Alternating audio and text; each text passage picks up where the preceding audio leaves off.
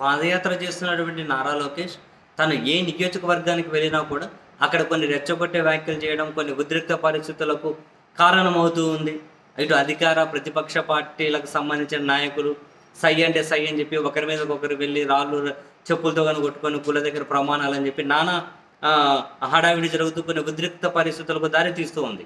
ఈ క్రమంలో నెక్స్ట్ తాడిపత్రిలో పాదయాత్ర ప్రారంభం కావాల్సిన దగ్గర దానికంటే కొన్ని రోజుల ముంచే తాడిపత్రిలో పరిస్థితి నివురుగప్పిన నిప్పులా ఉంది. అడిషనల్ పోలీస్ ఫోర్సును కూడా రప్పించారు. అటు ఎమ్మెల్యే కేతిరెడ్డి పెద్దారెడ్డి గారు వర్సెస్ మాజీ ఎమ్మెల్యే జేసీ ప్రభాకర్ రెడ్డి గారి మధ్య సై అంటే సై అనే విమర్శలు మీసాలు తిప్పుకోవడాలు తొడలు కొట్టుకోవడాలు పిచ్చి పిచ్చి కామెంట్లు చేసి నిరాధారమైన ఆరోపణలు చేస్తే లోకేష్ బస చేసే దగ్గరికి వెళ్ళి నేను చర్చకు కూర్చుంటానని చెప్పి ఎమ్మెల్యే కేతిరెడ్డి పెద్దారెడ్డి గారు నీకు అంత దమ్ము ధైర్యం ఎక్కడ ఉందిరా? నీకు నువ్వు ఒక ముండనా కొడుకు ఏంటివేంటివో జేసీ ప్రభాకర్ రెడ్డి గారు నిన్ను అడ్డుకోవాలి అంటే మా ఇంట్లో పనిచేసే వాళ్ళు చాలరా?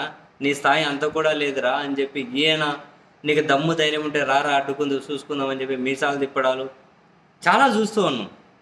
పైపెచ్చు తాడిపత్రి చాలా సెన్సిటివ్ ఏరియా ఏవైనా కాసింత అటు ఇటు జరిగినా కనుక పరిస్థితులు చాలా తీవ్రంగా ఉంటాయి. ఈ క్రమంలో పాదయాత్ర తాడిపత్రిలోకి ఎంటర్ అవుతూ ఉన్న వేళ పోలీసులు అనంతపురం జిల్లా పోలీసులు తాడిపత్రి డిఎస్పి లోకేష్ దగ్గరికి వెళ్ళి ఒక నోటీస్ ఇచ్చే ప్రయత్నం చేశారు. దయచేసి రెచ్చగొట్టే ప్రసంగాలు చేయకండి. విధ్వంసం జరిగే విధంగా మీరు ఎలాంటి వ్యాఖ్యలు చేయకూడదు సంయమనం పాటించాల్సి ఉంటుంది. హింసకు దారి తీసే విధంగా వ్యాఖ్యలు కానీ ఏదైనా మెటీరియల్ పంపిణీ చేయడం కానీ ఇటువంటివి ఏవీ చేయకూడదు అని చెప్పి మీ ప్రసంగం మీరు చేసుకొని మీ పాదయాత్ర మీరు చేసుకోండి. శాంతి భద్రతల సమస్య వచ్చే విధంగా వేరే వాళ్ళను రెచ్చగొట్టే విధంగా కామెంట్స్ చేయకూడదు అని చెప్పి డిఎస్పీ నోటీస్ ఇచ్చేకెళ్తే నారా లోకేష్ ఆ నోటీస్ తీసుకోలేదు. ఆ నోటీస్ తీసే అసలు తీసుకోలేదు ఆ నోటీసు నాకు వద్దు అని చెప్పి తిరస్కరించారు నోటీస్ తీసుకోవడం కోసం. సో చేసేదేం లేక అది యాడికి మండలంలో ఏమో స్టార్ట్ అవుతుంది అనుకో ఎంటర్ అవుతుంది అనుకుంటాను తాడిపతి నియోజకవర్గంలో.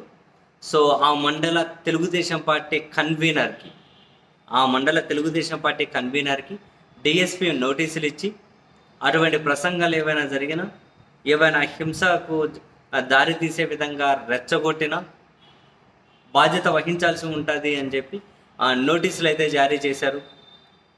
ఇంట్రెస్టింగ్ నెక్స్ట్ తాడిపత్రి నియోజకవర్గంలో లోకేష్ మరి పోలీసులు కోరుతున్నట్టు సంయమనం పాటిస్తారా? లేకపోతే ఆ సున్నితమైన ప్రాంతంలో రెచ్చగొట్టే విధంగానే వ్యాఖ్యలు చేసి మరింత ఉద్రిక్త పరిస్థితులు రావడానికి కారణమవుతారా? ఏం జరుగుతుంది అన్నది అయితే చాలా ఇంట్రెస్టింగ్ చూడాలి.